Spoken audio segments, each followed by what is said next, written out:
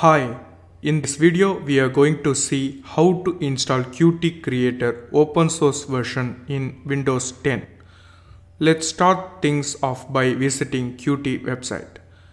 Now open your favorite browser, go to Google, type search field Qt, then hit the search button. Now you can see the search result now open www.qt.io. This is the official Qt website. Right click and open in new tab.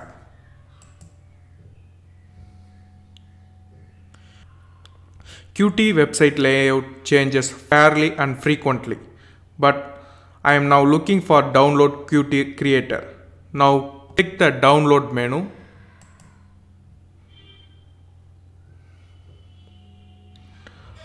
Now you can see the two version of Qt, commercial, open source.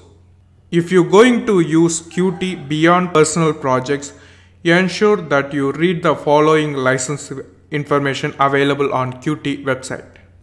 Or if you are going to learn Qt, my suggestion is open source. It's free with limitation. Now scroll down the website and click the go to open source. The site will detect your operating system and suggest recommend to download.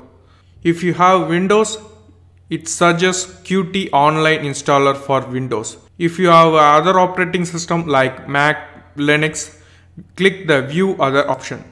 Now you can see Mac OS installer, Linux 32-bit, 64-bit like that. If you want to download the Qt Creator, click the download button.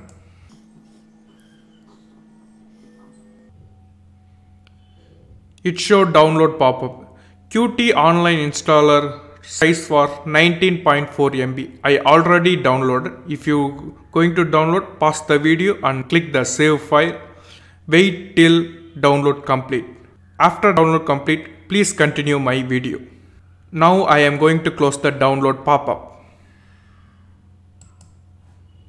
Now double click the installer to run the Qt setup. Click next. Now you can see Qt provide option to log in Qt account. If you don't have a Qt account, feel free to sign up here. It's completely free. I already provide my login information and clicking next. Next. Now it's fetching remote repository to collect information about latest Qt framework tools like that.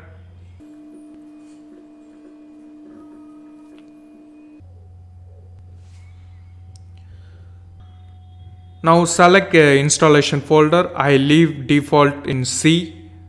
Click next. Now we are going to make decision which Qt framework version we want. We can have multiple version installed side by side. At this time of recording, Qt have latest version 5.13.0. Now we expand the Qt 5.13.0. Select MinGW 7.3.0 64 bit. Now Go to design and developer tools. Select the same MinGW 7.3.0 64 bit. Click next. Accept the license agreements. Click next. Click next. Now you are ready to install. It take some time to download and install total size of download uh, I don't know 700 MB or 800 installation will use 6.4 GB of disk space. If you don't have that disk space please go back and change installation folder.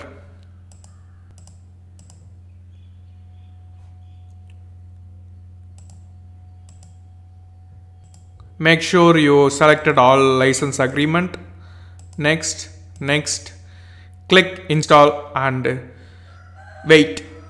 Now you can see all the downloads are finished. If you click the show details button, you can see the extracting process and the installing process. Just wait until installation complete.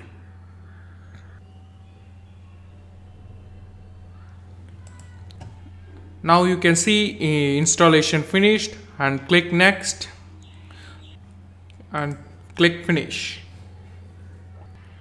Congratulations, we now successfully installed Qt Creator on Windows 10.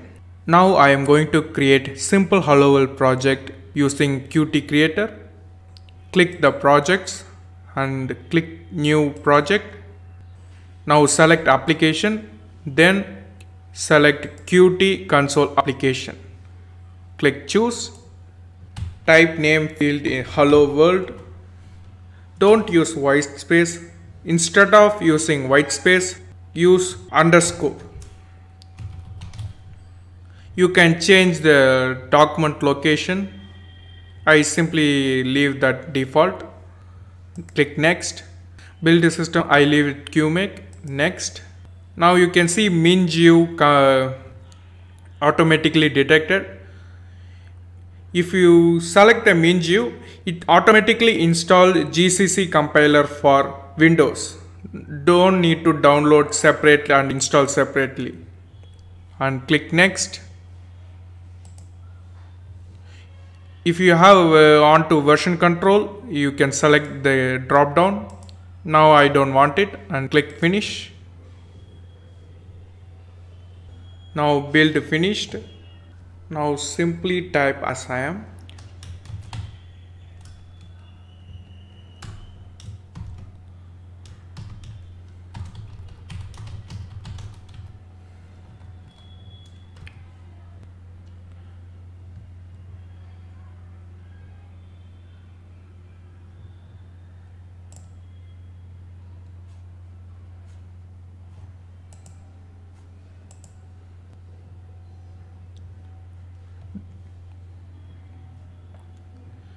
If you want to run the application, click the hammer icon, it build option.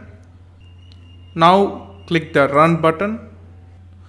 Now you can see console window showing hello world. In next video, I show you how to create GUI application that run along Mac OS, Linux, Windows without worrying. If you like my video, please like my video and subscribe it. If you want to support me, I created a buy me a coffee link in description. Please use it to support me and I very much to welcome it. And thanks for watching.